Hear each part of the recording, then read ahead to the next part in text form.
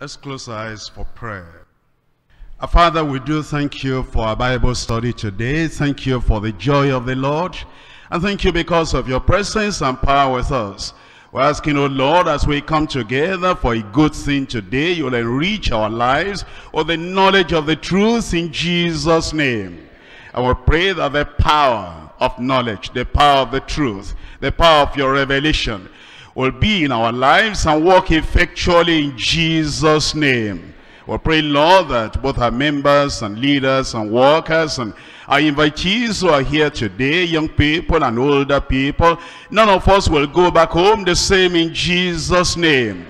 We open our hearts to your word and we pray, Lord, we write your word indelibly upon the tables of our hearts in Jesus' name. Empower and energize us with the entrance of your word, that we may be the stronger as we look at your word, stronger in conviction, stronger in the strength of the Lord, stronger in the might and the spirit of the Lord.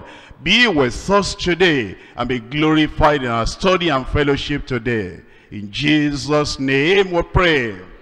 And everybody said, Amen. We come again to the study of the Word of God today, and we're in Revelation chapter 14. I'm reading to you from verse 6 all through to verse 13. Revelation chapter 14, reading from verse 6.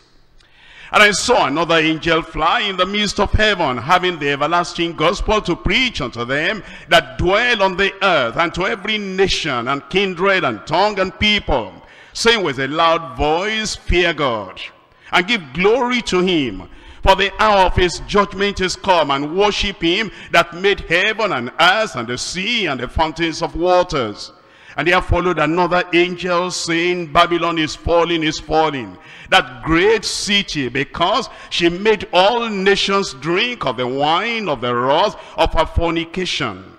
And the third angel followed them, saying with a loud voice, If any man worship the beast and his image, and receive his mark in his forehead or in his hand, the same shall drink of the wine of the wrath of God, which is poured out without mixture, into the cup of his indignation, and he shall be tormented with fire and brimstone in the presence of the holy angels, and in the presence of the Lamb, and the smoke of their torment ascendeth up forever and ever, and they have no rest day nor night to worship the beast and his image, and whosoever receiveth the mark of his name. Here is the patience of the saints. Here are they that keep the commandments of God and the faith of Jesus. And I heard a voice from heaven saying unto me, Write, Blessed are the dead which die in the Lord from henceforth. Yea, says the Spirit, that they may rest from their labors, and their works do follow them. As we go on in the study of the book of Revelation, if you've been following through with us, and you'll be coming regularly, you will know that this period now is a period of the great tribulation. Actually, the church will not be on earth at this particular time of study. And you will find that as we come to this uh, part of the book of Revelation, actually in the study, we're already in the middle of that great tribulation. In fact, we're even beyond the middle. It's like the great tribulation is now coming, almost coming to an end. But there's still some really serious, terrible things to take place. In the passage we'll read today, uh, we'll find something that may look strange to many, many people because we may not understand the connection of angels or the proclamation of the gospel. But today, as we look at it from verse 6, it tells us in verse 6, it said, And I saw another, another angel fly in the midst of heaven, having the everlasting gospel to preach unto them that dwell on the earth. And then it mentions those that dwell on the earth, every nation, every kindred, every tongue, and every people. Actually, as you look at the book of Revelation, angels feature much in the events revealed in the book of Revelation. From the first chapter to the last chapter of Revelation, angels are seen to be involved in the unfolding drama in this section that is in this chapter 14 seven angels come forth to make great startling announcements to those people that will be on the earth during the time of the great tribulation the first angel, you find that in verse 6, is a preacher proclaiming the everlasting gospel. The second angel, you find that in verse 8, announces the fall of Babylon. Babylon is falling, is falling. The third angel, you find that in verse 9. He is the one announcing the eternal torment of all who worship the Antichrist and take his mark. The fourth angel, you find that in verse 13, declares the blessedness of tribulation saints who die in the Lord, sealing their testimony with their blood. Then the next angel, that is the fifth angel. That's in verse 15 he announces the harvest of judgment on earth. The sixth angel, you find that in verse 17, you'll find is announcing the great battle of Armageddon. That is the great and the final day of the Lord. And the seventh angel is supporting and corroborating what the sixth angel is saying. It's still on the battle of Armageddon. The great and the final day of the Lord. What you will notice is, as you go through the scriptures, and you see the appearance of the angels from the book of Genesis chapter 3. And then you go on to the book of Revelation all through. This is one thing you'll find out. Holy angels always do what God wills and what God commands. They do nothing else. Nothing else, nothing more, nothing less. Only the will of God do they do. And we are to be like those angels. If you look at Psalm 103, I'm reading to you from verse 20 there. In Psalm 103, you're looking at verse 20. It says, Bless the Lord his angels that excel in strength, that do his commandments, hearkening unto the voice of his word. That's what angels do. And that's why as we pray that prayer, Father, which art in heaven, hallowed be thy name, thy kingdom come, thy will be done on earth as it is in heaven. Who are those doing the will of God in heaven? Those are the angels. And they do the will of God, only the will of God. And those of us that live here on earth, that's exactly what we're supposed to do. We're supposed to be doing the will of God like angels do it in heaven. As the world approaches its end, an angel is seen flying in the midst of heaven, that is, through the sky, having the everlasting gospel to preach to all that dwell upon the earth. Another angel also declares the glad tidings that Babylon, the mighty evil power in the world, that power opposing God and opposing the truth, that power is falling. Babylon's power and oppressive program finally will come to an end. Then the eternal punishment of all sinners is declared. And then all supporters of evil will be tormented forever and ever. And then the saints of God the people of God, the redeemed of the Lord, those who are washed in the blood of the Lamb, those who are saved, and those who have been saved and separated from their sins, and they come to live that righteous life by the grace of God, and they're living victoriously over sin. Those saints of God are assured of eternal rest and blessedness. It's so wonderful as you read it. Look at verse 12. It says, Here is the patience of the perseverance of the saints. Here are they that keep the commandments of God and the faith of Jesus. Who are those people? The people that keep the commandments of God. Those are the saints. And the people that are obedient and addicted and given and devoted to the faith of Jesus Christ. Those are the saints. And then it says in verse 13, And I heard a voice from heaven saying unto me, Write it down Blessed are they, blessed are the dead, which die in the Lord henceforth. Then you said, Yes, certainly, yea. Verily I say unto you, says the Spirit, that they may rest from their labors, and their works do follow them. And that is what we're looking at today. We're dividing the study to three parts. Number one, the angelic declaration of unalterable scripture angelic declaration of unalterable scripture. Number two, announced damnation of unrepentant sinners announced damnation of unrepentant sinners. Then number three, anticipated the light of uncompromising saints. The anticipated delight of uncompromising sins. I come back to number one, angelic declaration of unalterable scripture. You come to Revelation chapter 14 verse 6.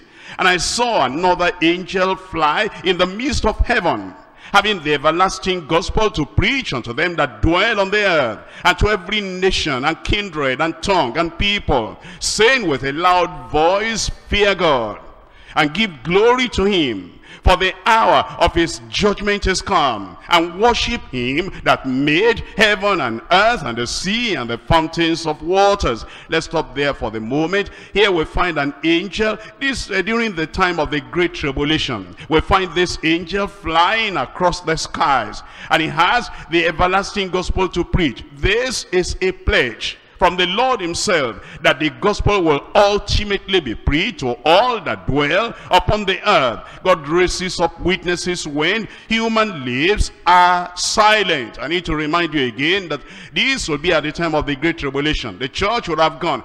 At the time in which we are living now, angels don't come to preach. You don't find angels, you know, in the bus, in the station, in the aeroplane, or anywhere preaching the gospel. Why? Because the church is here. Because the witnesses are here. Because the soul winners are here. Because the people unto whom the gospel have been committed into their hands. Because we're here. Therefore, angels are not available here now.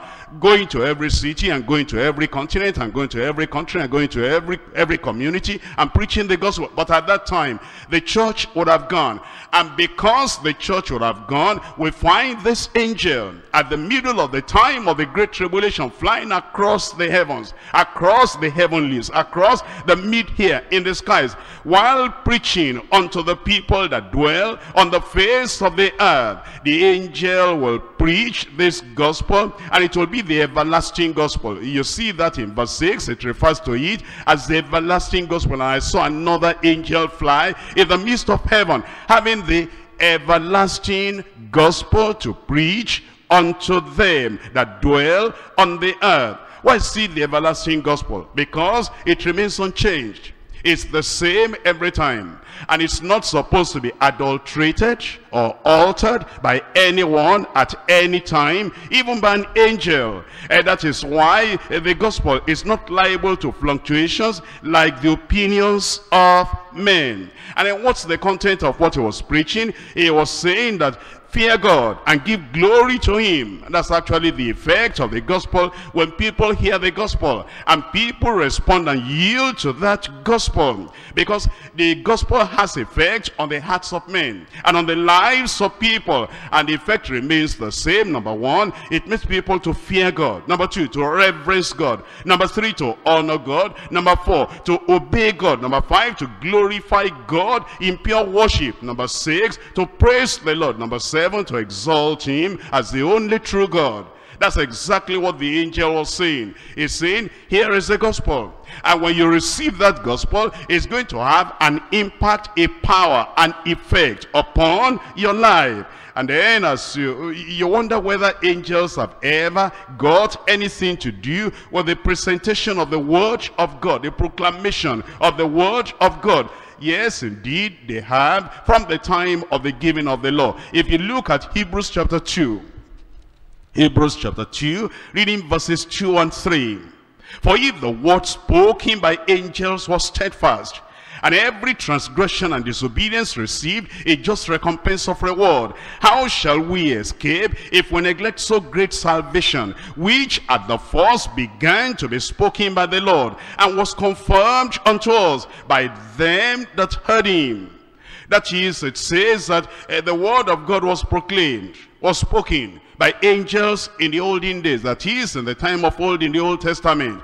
And that everyone that transgressed that proclamation, declaration of the word of God, declared by those angels, will receive a just recompense of reward. And he said, if that is so, how shall we escape? Because uh, Jesus Christ himself, greater than the angels, has presented the gospel unto us, and the people that heard him, they have presented the gospel to us. If those that is that uh, didn't respond to the words of those angels, if they did not escape judgment, how shall we escape? And still to show you further the connection of the angels with the proclamation of the word of God in the Old Testament in Galatians chapter 3.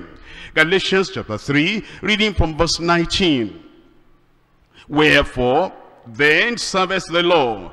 It was added because of transgressions, till the seed should come to whom the promise was made. And it was ordained by angels in the hand of a mediator.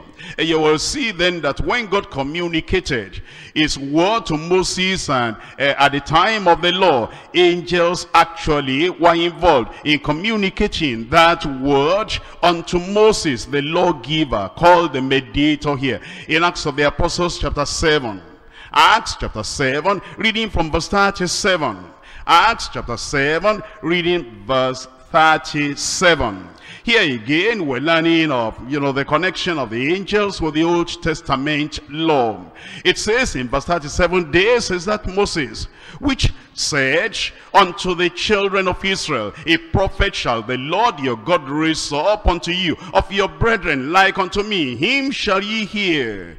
This is he that was in the church in the wilderness with the angel which spake to him in the Mount Sinai the angel that spoke to him on the Mount Sinai and with our fathers who received the lively oracles to give unto us. Go down to verse 53. Who, who have received the law by the disposition of angels and have not kept it. it. Is referring to the people of Israel.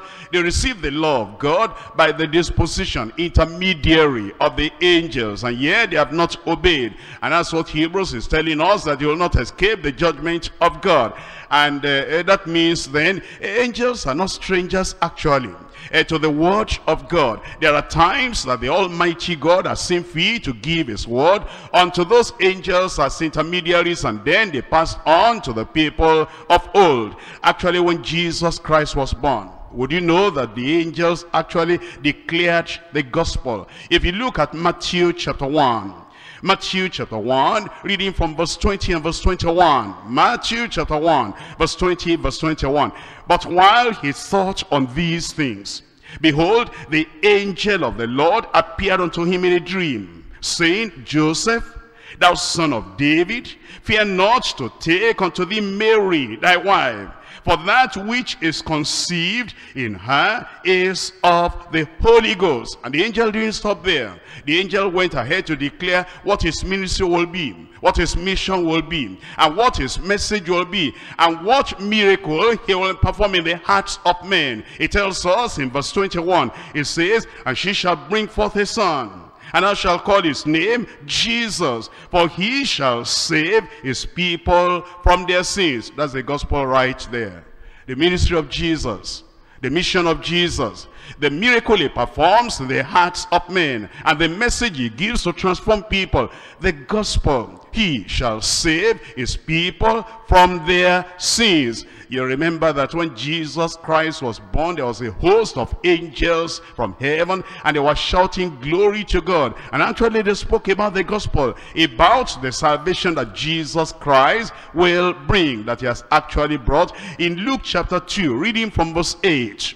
Luke chapter 2, reading from verse 8.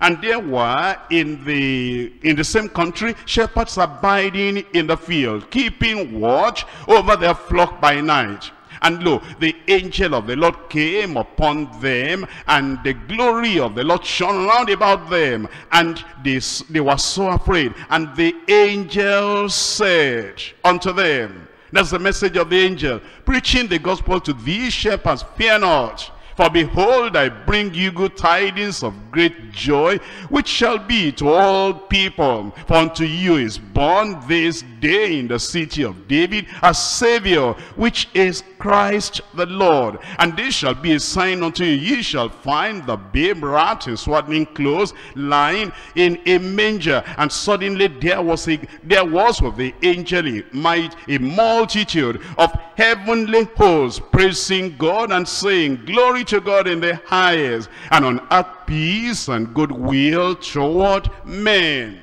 And you see then that these angels, that's exactly what they were declaring. They were declaring the, uh, the fact that Jesus Christ is a Savior. And that's the good news. And that's the gospel. That's the glad tidings that Jesus Christ has come to save men. I come back to Revelation chapter 14 and look at verse 7.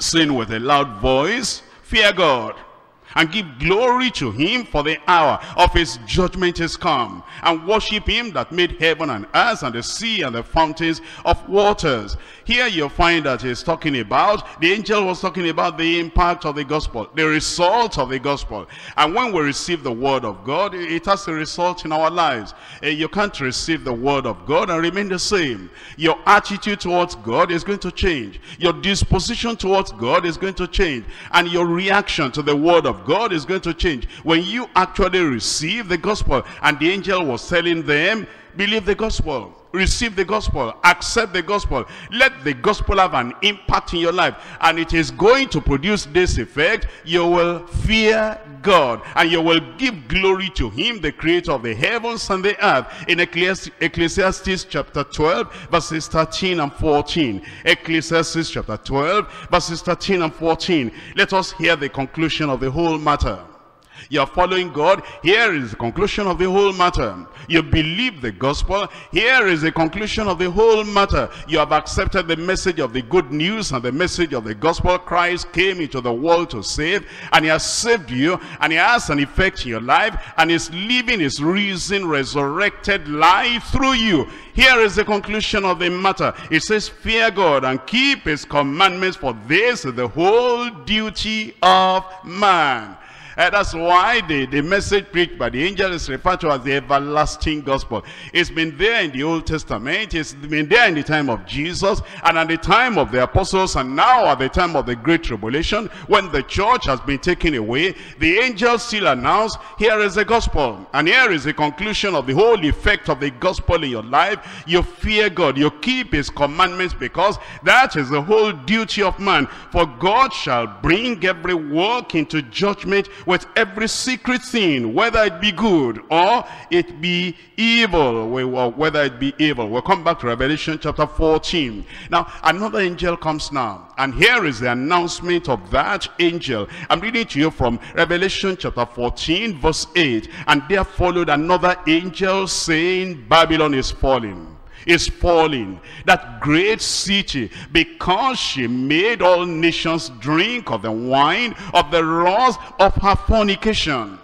Now, the, the angel here came to announce, actually those who have been studying the scriptures will have known that uh, the people of God in the days of old, they have been looking forward to this because Isaiah announced it, Jeremiah announced it, and uh, all the minor prophets too, they announced it, that a time is coming when Babylon, the evil power, and the zenith or the peak of the, of the power of evil, that it will fall eventually. And they were seeing that the evil was increasing in the world, and that uh, Babylon had not fallen, but now the angel came to announce, and he said, the hour of his judgment is come and Babylon is falling. If you look at Isaiah chapter 21, Isaiah chapter 21, reading to you there from verse 6, For thus as the Lord said unto me, Go, set a watchman, let him declare what he seeth.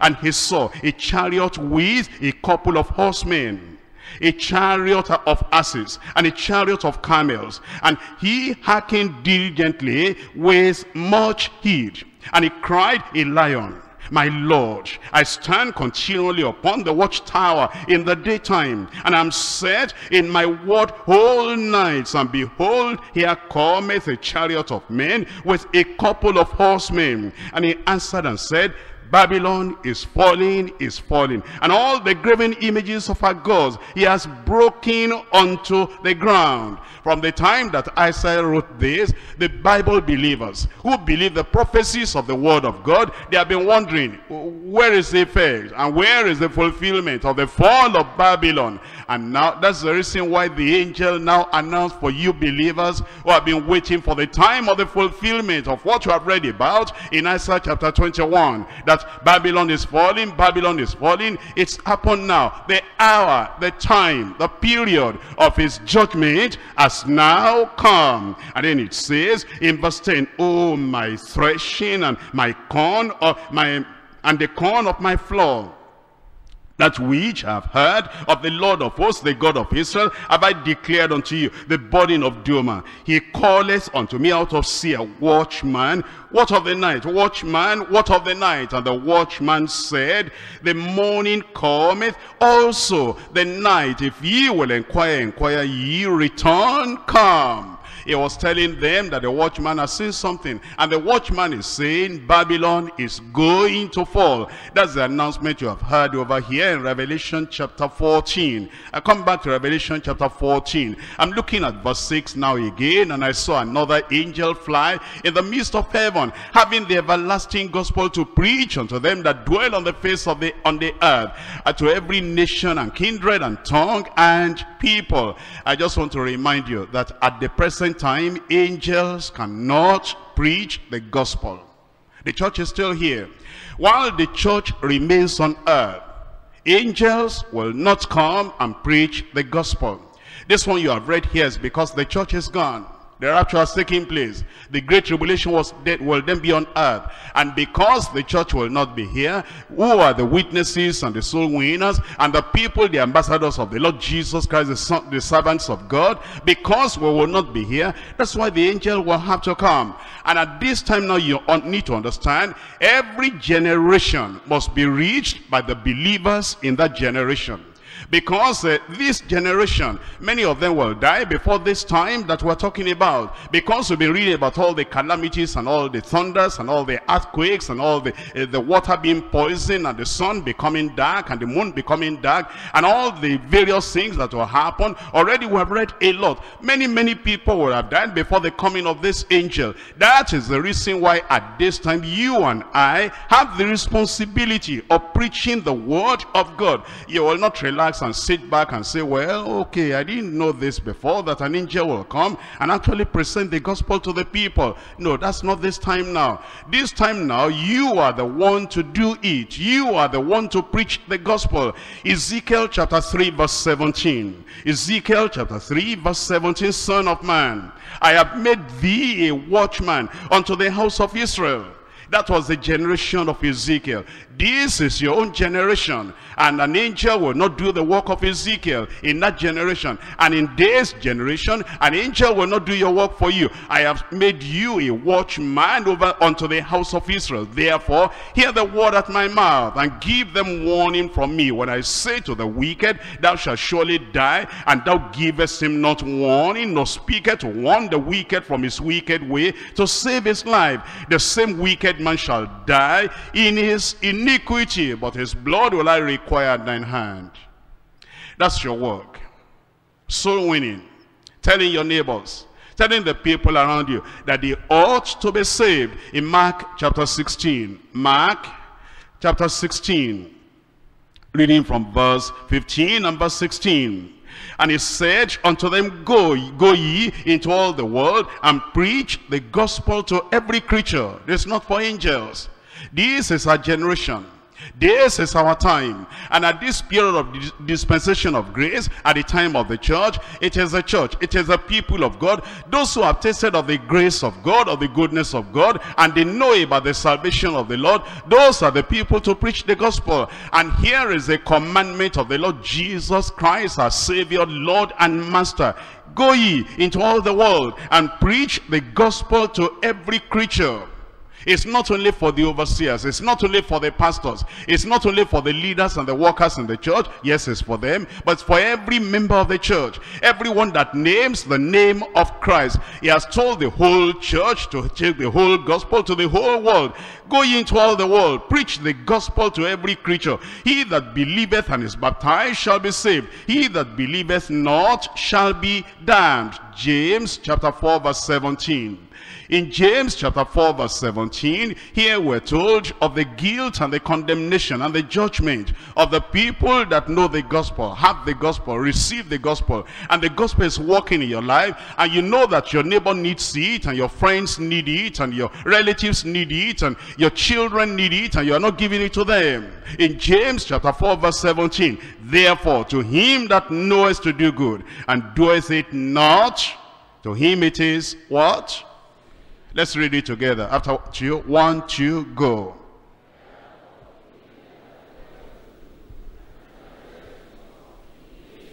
That means then as you, you have the gospel and, and you know the gospel and you know that Jesus is Savior and the greatest good you can do, the best thing you can do for your neighbor, uh, those people that are not saved and they don't know what it means to be born again and to get to heaven, the greatest good you can do for them is to give them the gospel. And to him that knoweth to do good and doeth it not, to him it is sin. I pray God will deliver us from this terrible sin of uh, not preaching the gospel in Jesus' name.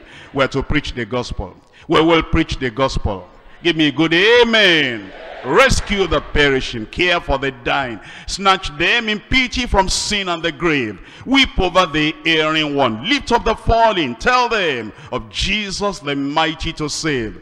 Though they are slighting him, still is waiting waiting for the penitent child to receive. Plead with them earnestly, plead with them gently. He will forgive if they repent and believe. Rescue the perishing. Duty demands it. Strength for thy labor. The Lord will provide back to the narrow way. Patiently win them. Tell the poor wandering sinner, his Savior has died. Rescue the perishing. Care for the dying. Jesus is merciful. Jesus will save. I come to point number two, announced damnation of unrepentant sinners.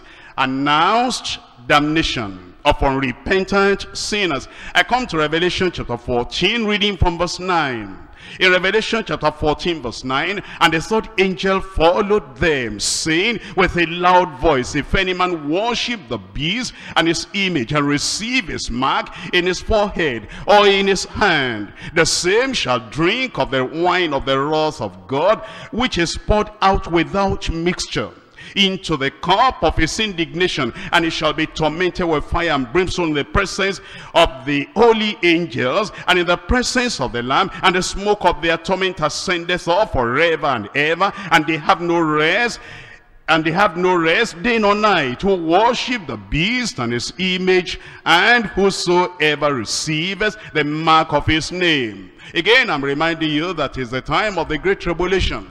And we studied already in chapter 13 that at the time of the Great Tribulation, the Antichrist will appear. That is the beast coming out of the sea. And then the false prophet will appear. That is the, the beast that is coming out of the earth. And in union with the dragon, they will force the people on earth that they should receive the mark of the beast. And if anybody will refuse, then he'll be tormented because uh, it'll punish him with force and with fear and with famine and with finance. He'll not be able to have any money. He'll not be able to buy anything either. To be able to withdraw anything from the bank, he must show his mark. And once a person receives that mark, that means he's doomed forever is damned forever, is condemned forever. He will not be able to live in the presence of God. Let me just remind you from Revelation chapter 13. Revelation chapter 13, reading from verse 11. And I beheld another beast coming up out of the earth, and he had two horns like a lamb,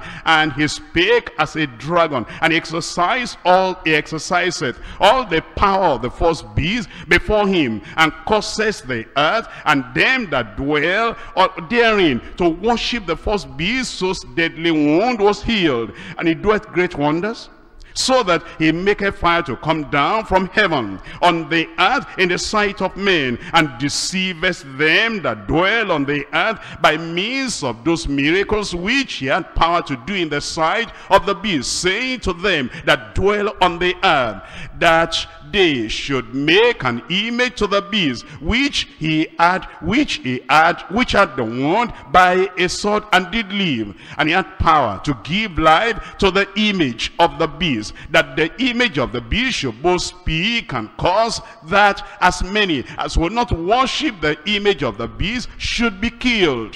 And he causes all both small and great and rich and poor, free and bond, to receive a mark in their right hand or in their foreheads, and that no man might buy or sell save except he that had the mark or the name of the beast or the number of his name. Here is wisdom. Let him that has understanding count the number of the beast, for it is the number of a man, and his number is six hundred three score and six. Six 666. And if anybody receives that mark, and that's what the Lord is telling us in chapter 14, that means he's doomed and damned forever. That means he'll go to hell fire and he will not be able to fellowship with the people of God in heaven. But we need to understand the lot of all those who worship the Antichrist through the great, uh, during the Great Tribulation is the same as that of all who refuse the Savior and those who serve Satan even now in this generation and in any other generation. The same shall drink of the wine of the wrath of God. God's wrath, God's anger, God's indignation will be poured out without mixture. Without mixture. That is, it will be punishment without any relief. It will be indignation without any mercy. There'll be no mixture to it at all. Upon all the unrepentant sinners, the punishment of all who neglect or reject God's salvation in Christ will be intense and will be eternal. And that's why in the passage we read in chapter 14 of Revelation, it says, And the smoke of their torment ascendeth up forever and ever. And they have no rest, day nor night. That is, there'll be no respite, there'll be no interval in the severity of their torment. I want you to think about that for a moment. Because here on earth, rest comes to the suffering person.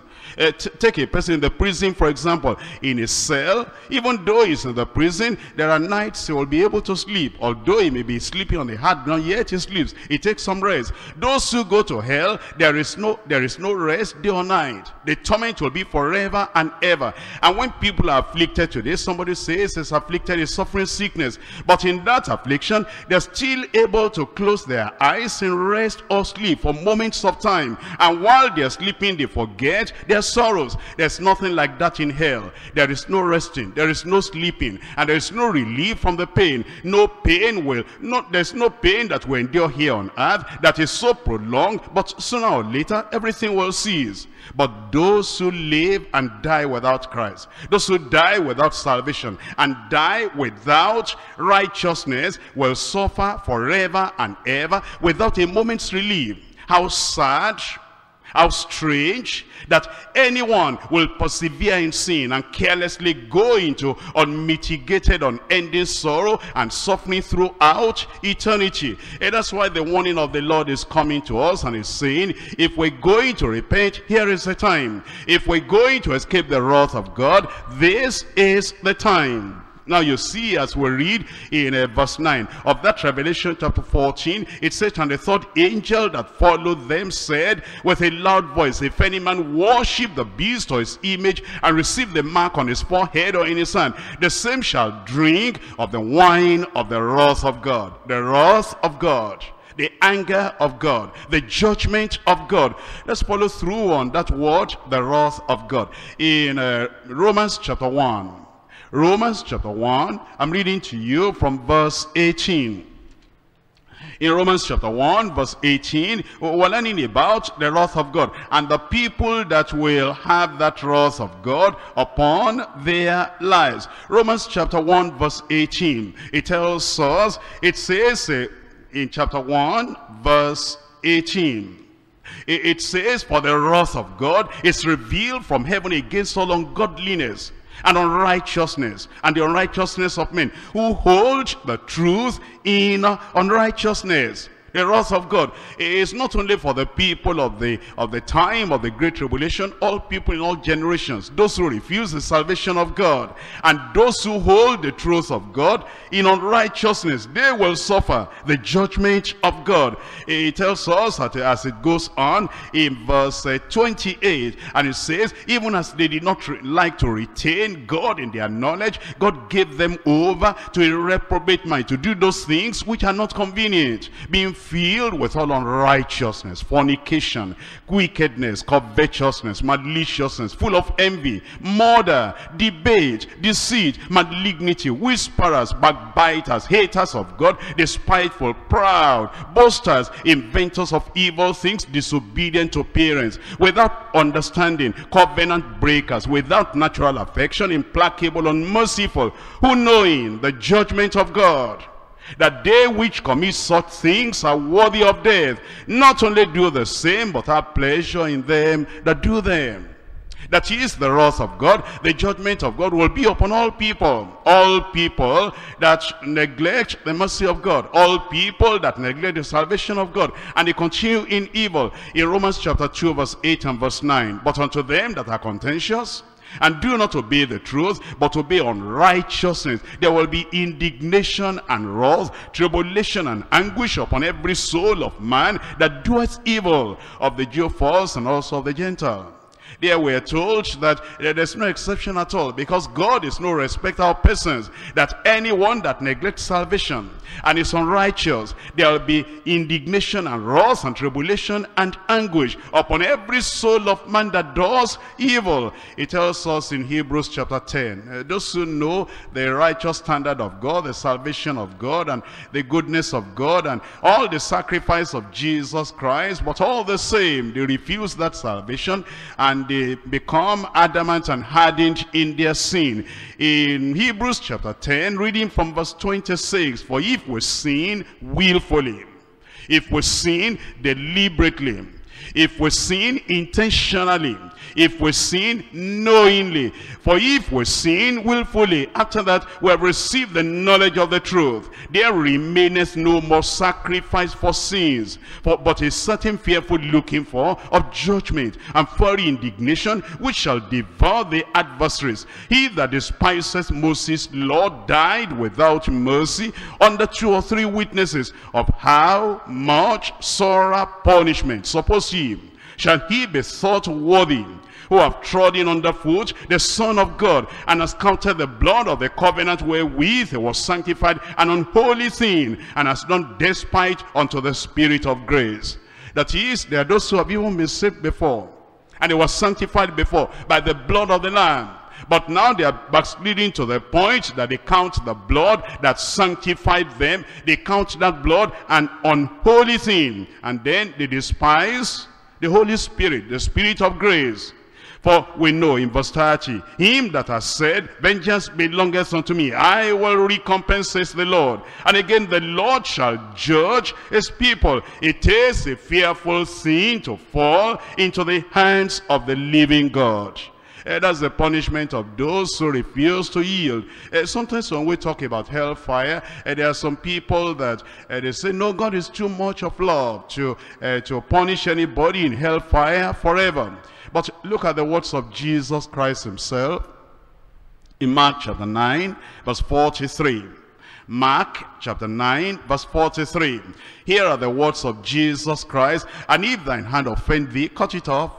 It is better for thee to enter into life maimed than having two hands to go into hell, into the fire that never shall be quenched. Those are the words of Jesus. If it were not true, he would not have uttered them. He, would not, he wouldn't have spoken them. And you know, tender Jesus, loving Jesus, lowly Jesus, humble Jesus, meek Jesus, he wouldn't want to hurt anybody. He wouldn't want to deceive anybody. It is because he knows it to be true. That's why he said it. Then he said in verse 44, where their worm dies not, and the fire is not quenched. That's what he said. The smoke of their torment ascendeth up forever and ever. In verse 45, if thy foot offend thee, cut it off. It is better for thee to enter into life, uh, to enter halt into life, than having two feet to be cast into hell, into the fire that never shall be quenched, where their worm dies not, and the fire is not quenched. If somebody can listen to these words of Jesus, that there is hellfire, and life is uncertain, and death can come anytime, and the rapture can take place anytime, and leave the careless and the backsliding and the sinners and the unrepentant, the impenitent, leave them behind, and people hear this and they still go without praying.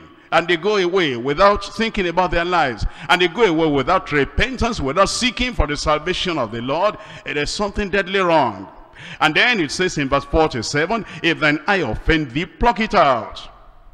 It is better for thee to enter into the kingdom of God uh, with one eye than having two eyes to be cast into hellfire. What it means is, if somebody so dear to you like your eye, will cause you to go into sin, into sin, into sin every time. And the only way to avoid sinning is to cut him off, is to separate from him. Do it. It's better not to have him as a friend than have him as a friend and then he leads you to hell. If somebody as useful as your right hand causes you to sin and sin and sin and sin, cut him off, cut her off. It is better for you to enter into life, into eternal life, into heaven, than having a sin partner, a friend, who is smiling every time, but is the kiss of the dragon. It's the smile of a dragon, wanting to drag you into hell. And if somebody is as useful as a right foot, and is causing you to sin every time, and you cannot avoid sin when you are in his presence, cut him off because it is better for you to enter into heaven without him than for both of you to get into hell. It says in verse 48, where the worm dieth not and the fire is not quenched. In Matthew chapter 25, the words of Jesus Christ again. Matthew chapter 25, verse 41. Matthew chapter 25 verse 41. Uh, here are the words of Jesus Christ again as he tells us. Then shall he, shall he say unto them on the left hand, on, on the left hand, Depart from me, ye cursed, into everlasting fire, prepared for the devil and his angels. Nobody should have any problem with the fact that hell is prepared for the devil. And hell is prepared for the angels that follow the devil. But Jesus Christ also said that same hell prepared for the devil and his angels is also uh, for all the people that will be on the left hand side because they do not have the salvation of the Lord. In Revelation chapter 1, chapter 21, verse 8. Revelation chapter 21, verse 8. But the fearful and unbelieving and the abominable and murderers, and whoremongers, and sorcerers, and idolaters, and all liars shall have their part in the lake which burneth with fire and brimstone, which is the second death. Again, we find uh, the revelation of the word of God, and his revelation of Jesus Christ signifies through an angel given unto John to give unto the churches. And here is the revelation, it says, the fearful shall have their part in the lake that burneth with fire and brimstone. What does that mean? You ought to get saved. You ought to get restored. But you're afraid of what your sin partner will say. If you remain in that sin because of the sin partner, because of the fear of man, it's hellfire. You know you ought to make restitution. But your comrade in sin, your partner in sin, is saying if you make that restitution, you're going to get me to trouble. And if you make that restitution and you go ahead and reveal what we did together, I'm going to deal with you. And then you're afraid. You don't want them to deal with you. Because of that, you remain in sin. The fearful shall have their part in the lake that burneth with fire and brimstone. And then the unbelieving. I don't believe. Let them say. They talk about hell. I don't believe. And they talk about eternal punishment. I don't believe. They talk about the wrath of God. I don't believe. They talk about the fact that if you backslide, even though you were saved before, if you backslide and you die in that backsliding, you will perish. No, I don't believe. I believe that once you are saved, you are saved forever. The unbelieving, they will have their patch and they lick their bones with fire and brimstone. And then they are abominable. They are abominable. Check up in your Bible. And you'll find that women that dress like men are abominations unto the Lord. And you will find that those who commit immorality with their daughters, who commit immorality with their blood sisters, who commit immorality with uh, those who are not their wives, it's abomination before the Lord. And it says they shall have their part in the lake that burns with fire and brimstone. The murderers, those who commit abortion, whether you do it for yourself or you do it for a teenage girl or you do it in the hospital or do it anywhere for anybody it says the murderers then the whoremongers those are the you know those are the idolaters the, the adulterers and the fornicators and the sorcerers familiar spirit the people that deal with that uh, deal with things connected or related to uh, witchcraft. And then it says the idolaters. The idol worshippers. You are taking chieftaincy title. You go to church. A gospel church. A pentecostal church. And all the same you're running after the chieftaincy title. And then you're doing sacrifices because I, I come from a royal family. And they say that it's my turn. And there's no way I can avoid it. Well that, that's what it says. The idolaters shall have their part in the lake that burneth with fire and brimstone. And then it says, and how many liars? Tell me out loud. All liars shall have their part in the lake that burneth with fire and brimstone. I, I need to talk about this because you see, there are people that do not understand what lying is all about. They think it's only when you, you know, open your mouth and you shout it out and you say something that you know to be a lie. They think those, that's, that's only the liars. But I'm telling you, it says all liars. Number one, there are mute liars. M-U-T-E. Mute liars. Those are silent liars. You remember in Genesis chapter 37, the brothers of, uh, of Joseph, what did they do? They killed the goat, and then they put uh, the cloth inside, and they soaked it in blood, and then they didn't go by themselves, they sent it to their father. They said, see, if this belongs to your son, they didn't tell them, lie outright, it was mute. It was quiet. It was silent. It was just in action. And it says all liars, mute liars. Number two, mischievous liars.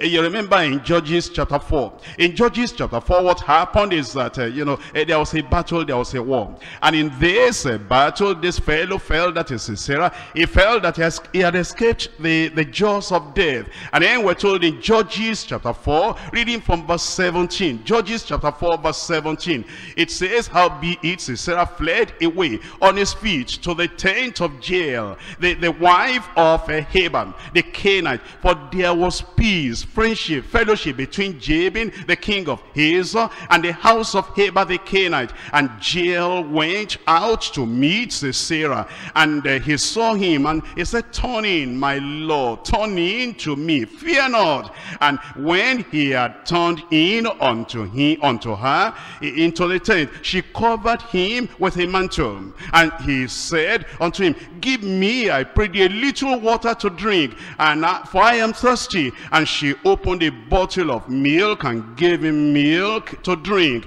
and gave him drink and covered him. Would you think that anybody like this can deceive you?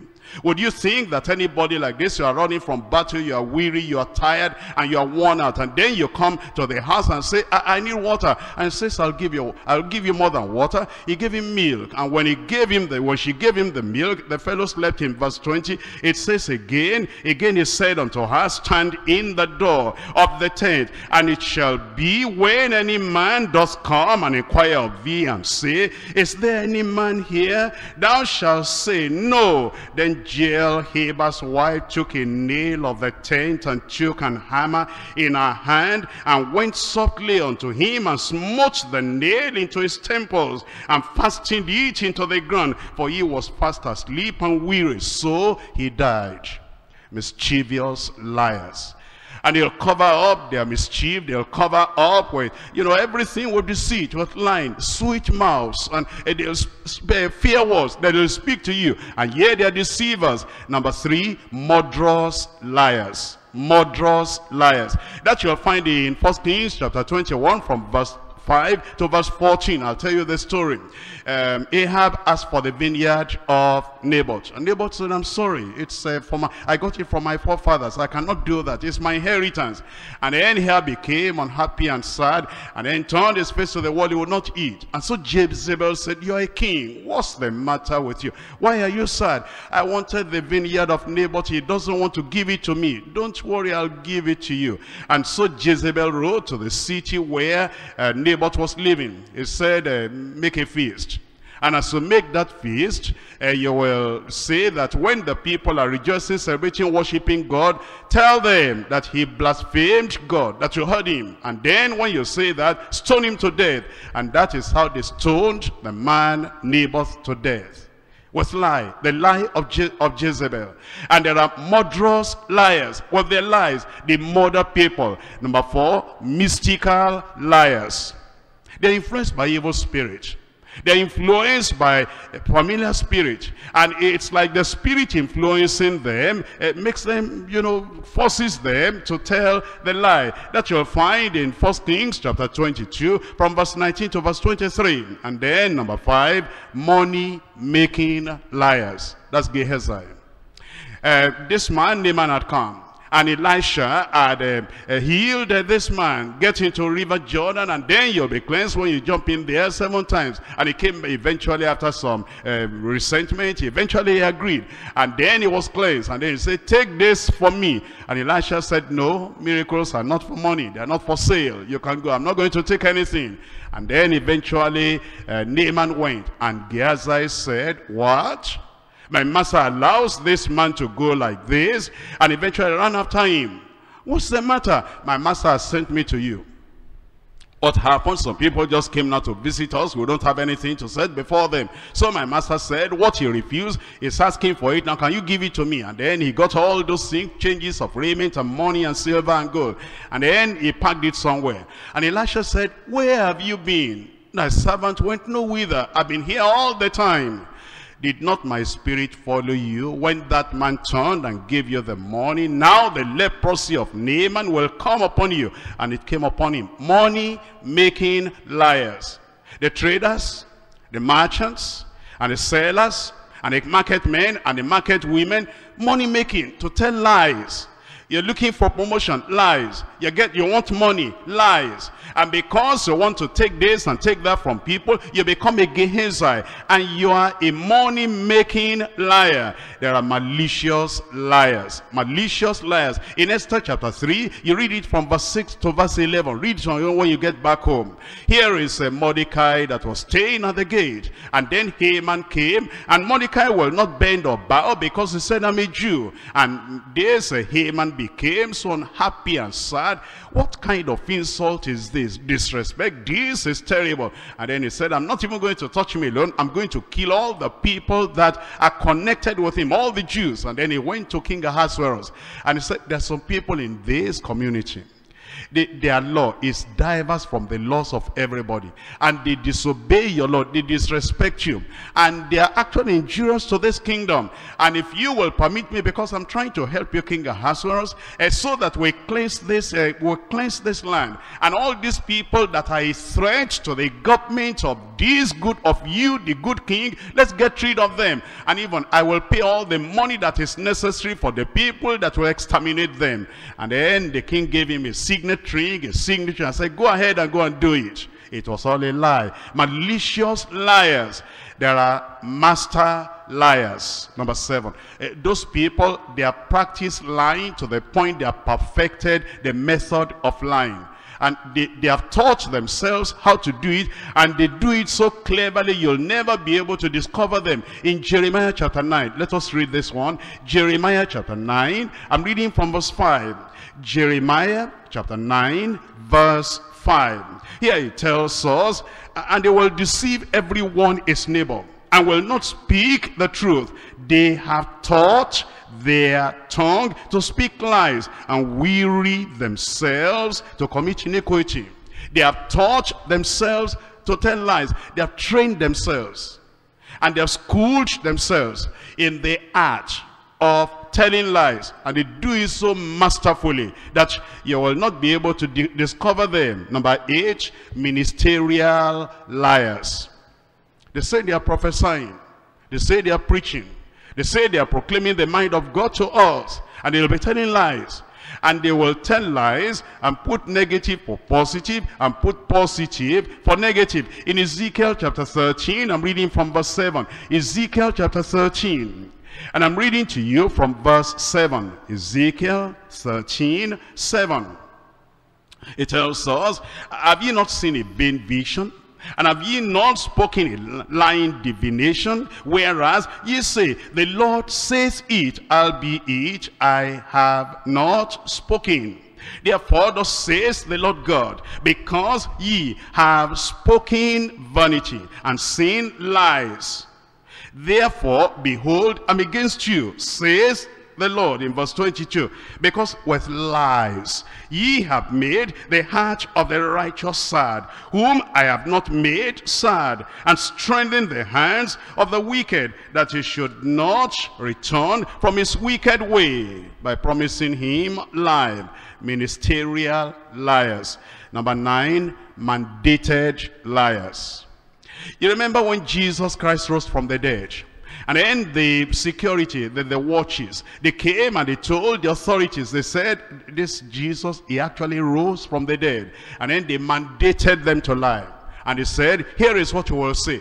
You will tell the people, the authorities, that his disciples came and stole his body away. And if you get into any trouble, we're going to deliver you from that trouble. We've mandated you, go and do it. Mandated liars. And you know what we're studying, you know what we're reading? It says that in, that's in Revelation chapter 21 verse 8. It says, but the fearful and the unbelieving and the abominable and the murderers and the whoremongers and the sorcerers and the idolaters and all liars shall have their part in the lake which burneth with fire and brimstone, which is the second death. That means the mute liars, the mischievous liars, the murderous liars, the mystical liars, the money-making liars, and the malicious liars, and the master liars, masterful liars, and the ministerial liars or the mandated liars, all shall have their part in the lake that burns with fire and brimstone. I pray will not be part of them.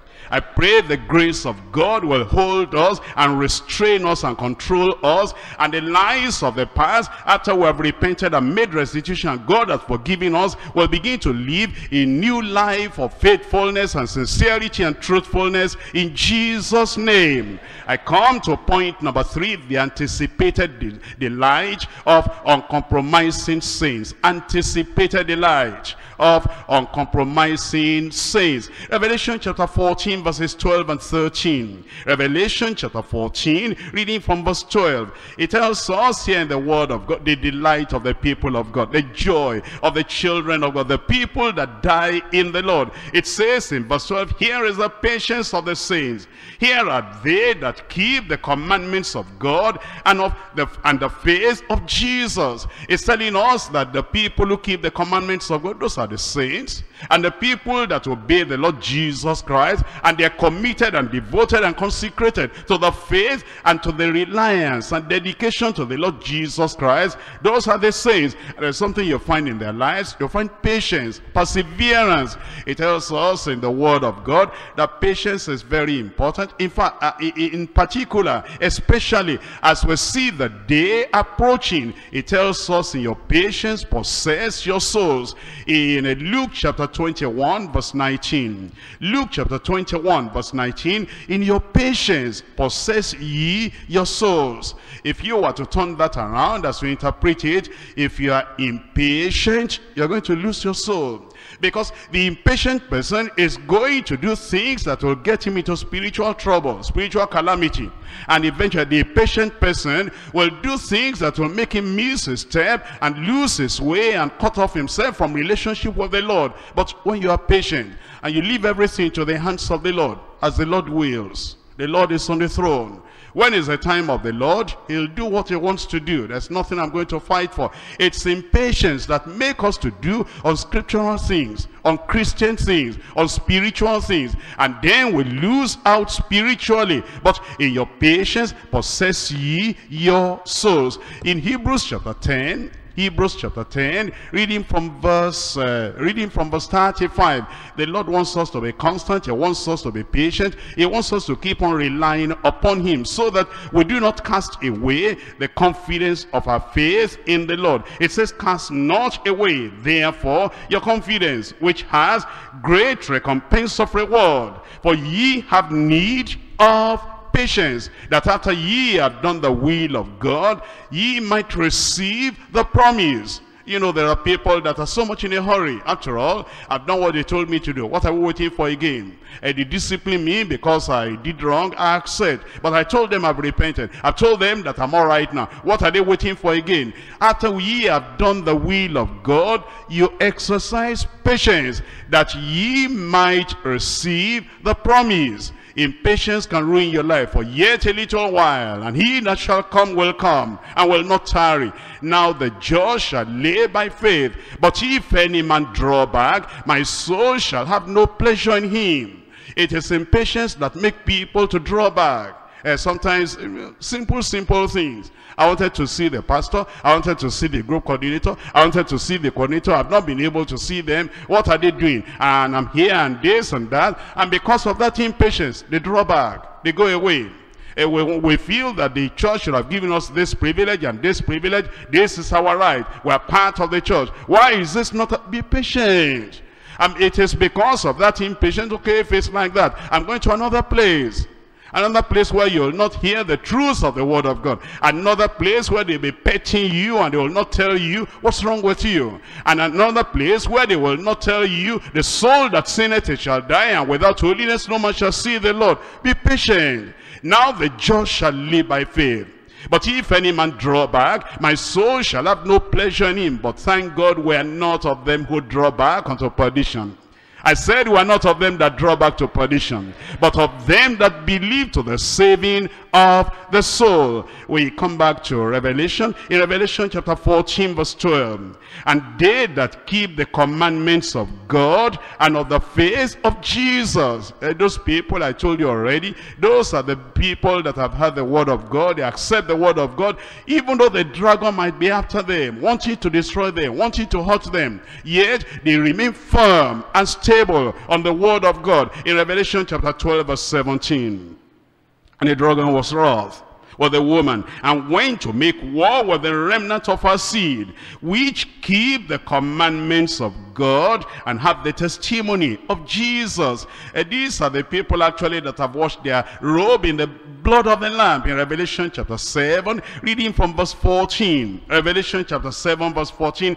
And I said unto him, Sir, thou knowest. And he said unto me, These are they which came out of great tribulation and have washed their robes and made them white in the blood of the Lamb. Therefore are they before the throne of God and serve him day and night in his temple. And he that sitteth on the throne shall dwell among them. They shall hunger no more, neither thirst anymore, neither shall the sun of the, the sun the sun light on them, nor any heat. The lamb which is in the midst of the throne shall feed them, and shall lead them unto the living fountains of waters, and God shall wipe away all tears from their eyes. I pray that will be your Lord that one of these days when the Lord will come, then you'll be with the people of God and you'll go away in the rapture in Jesus' name constancy in obeying and keeping the commandments of God, and perseverance in the faith of Jesus our Lord and Savior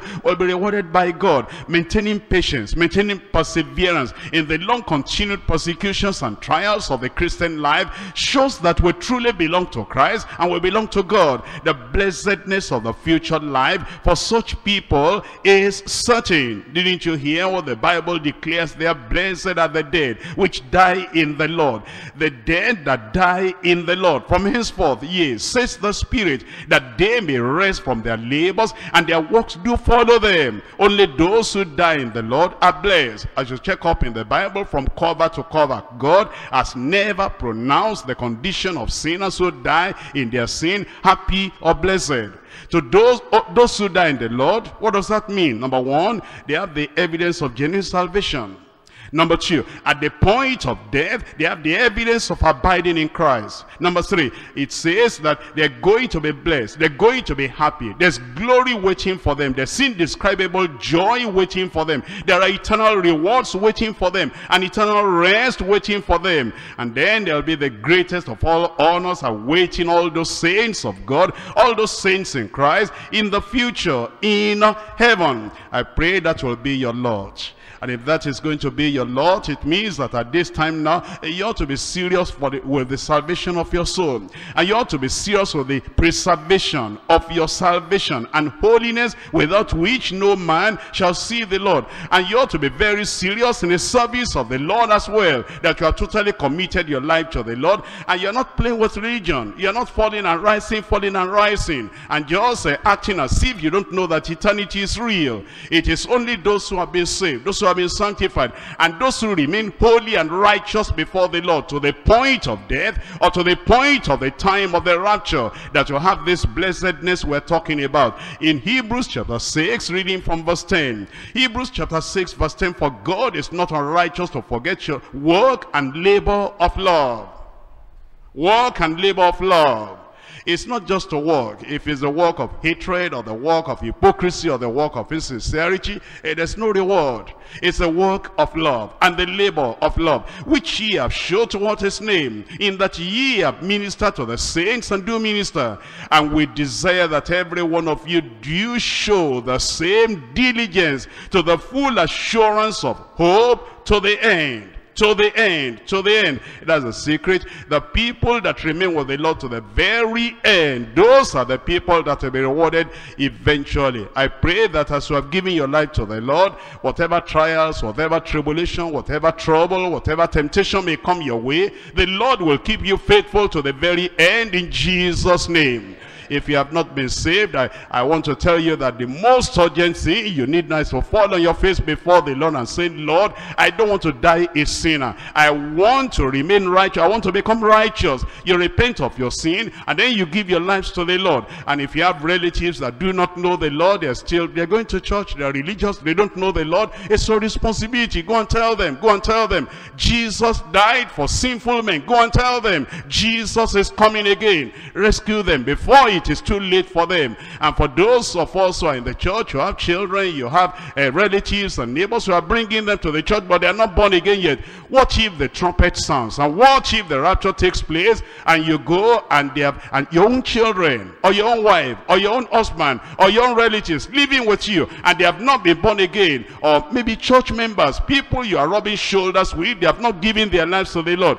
How will you be able to face the Lord in eternity? This is the time. If you are not saved, get saved. If you have been saved, get sanctified. If you are saved and sanctified, be a soul winner and go and tell other people, Jesus is coming. Salvation is the urgent thing we need to seek. And as they come to the Lord, the Lord will save them. And then by his grace, he'll keep us faithful to the end. Let's rise up and talk to the Lord in prayer and say, Oh Lord, I don't want to face the great tribulation. When the great tribulation will take place, I want to be a real child of God. And I want to go with the Lord when he comes. You have not been born again. Give your life to the Lord and be born again and you have been, you know, falling and rising, playing with sin, you tell the Lord, oh Lord, I'm sorry. Oh Lord, I'm sorry. I've been careless with my life. I've been careless. I've been playing religion. Or maybe you were born again some years ago. You know how serious you were. You know how fervent you were. And you know how dedicated you were. You know how saintly you were. And you know how holy you were. And you know how fear, you feared sin. And you know how you will not compromise your Christian stand with anybody. But of late, how's your life? Has not carelessness come into your life? Has not sinning come back into your life? Has not joking, uh, uh, lying, with, lying with joking, jesting, has it not come back? Why don't you fall on your face before the Lord and say, Lord, I now want to come back to you. All this uh, playing with religion, enough of it, enough of it. I don't know when the Lord will come. Might be at the very brink of hell, at the very gate of death, and you're still joking and jesting, and you're still playing with sin. But this is the time to call upon the name of the Lord and say, Lord, I don't want to die in sin. I don't want to die in sin. I don't want to die in sin. Have mercy upon me, Lord. Have mercy upon me, Lord. The soul that sinneth it shall die. But the gift of God is life eternal. It's life eternal. Talk to the Lord in prayer. Talk to the Lord in prayer. And tell the Lord, I need to be saved. I need to be born again. And if you saved, how eh, about this thing in your heart? This Adamic nature. This stony heart. Why don't you tell the Lord, cut it off from me. Take the stony heart away from me. Lord, have mercy on me. Sanctify me. Make me pure. Make me holy. All these unholy thoughts, unholy attitude, cleanse me, wash me, purge me. Make me ready for the rapture. The Lord will